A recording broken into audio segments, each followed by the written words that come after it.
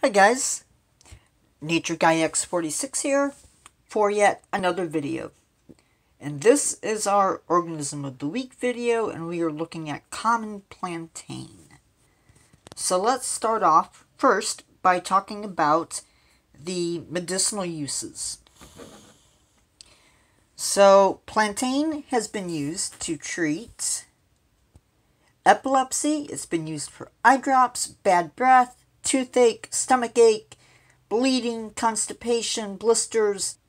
Um, food wise, the leaves can be eaten raw or cooked, so they can be used in salads or made and used like spinach. The seeds can also be used either raw or cooked, but you should know that they can have a little bit of a um, laxative effect. They can be used to make flour Leaves can be used to make tea. This plant is a source of food for buckeye butterflies, cardinals, grasshoppers, sparrows, and grasshoppers as well.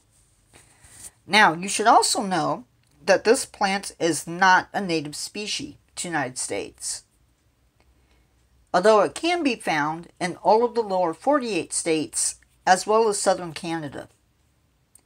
It's believed that Puritans brought it over from Europe to be used as a medicinal herb. It was by 1798, it was already naturalized in the United States.